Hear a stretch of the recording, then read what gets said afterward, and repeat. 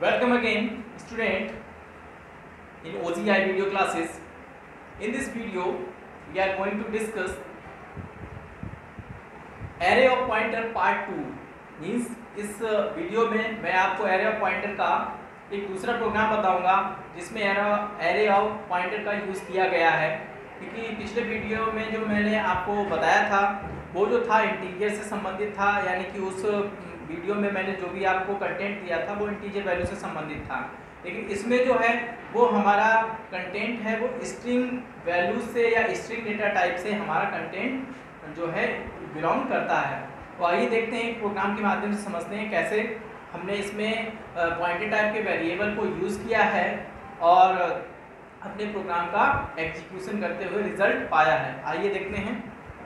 देखें। यहाँ पर हमने एक कैरेक्टर डेटा टाइप से पॉइंटर ओजीआई यहाँ पर मैंने आपको बताया भी कि OGI is a pointer variable OGI यहाँ पर मैंने पॉइंटर वेरिएबल के रूप में लिया है, जिसका साइज़ है थ्री जिसका साइज़ थ्री लिया हुआ है, और इसकी अब पोजीशन कितनी बनेगी मेमोरी में? O G I zero O G I one O G I two ये तीन पोजीशन बनेगी मेमोरी में इस तरीके से।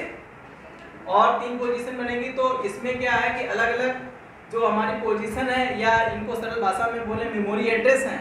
इन मेमोरी एड्रेस पे मैंने अलग अलग वैल्यू भी असाइन की है। तुरंत इसको चाहे स्टूडेंट आप लोग तुरंत की तुरंत अपना कीबोर्ड से भी इनपुट करा सकते हैं अपनी इच्छा से। वैसे भी कर सकते हैं, लेकिन मैंने तो यहाँ पर इनिशलाइज तुरंत किया हुआ है।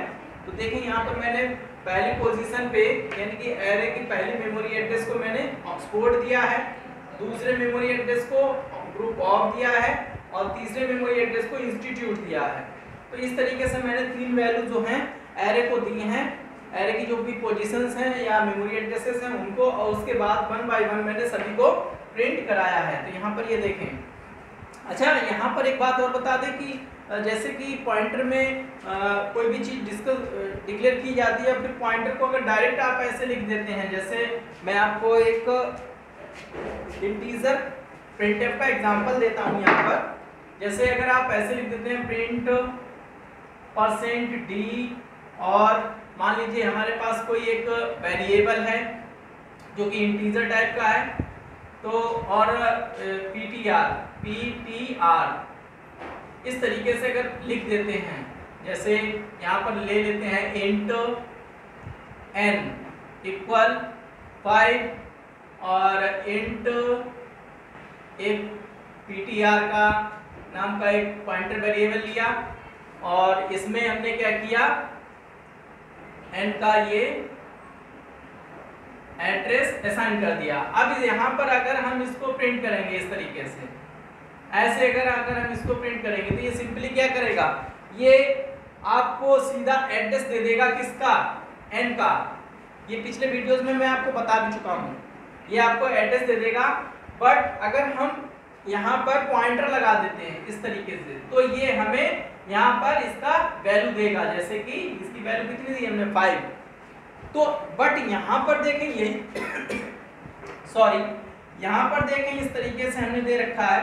तो यहाँ पर हमने क्या है? मेमोरी एड्रेस बता दिया है कि भाई जो OGI की जो पोजीशन है OGI का मेमोरी ब्लॉक पहला है ज़ीरो उस पर जो पड़ा हो आप प्रिंट कर दो। तो यहाँ पर हम वो चीज़ बता रहे हैं। एड्रेस खुद ही हमने दे दिया है।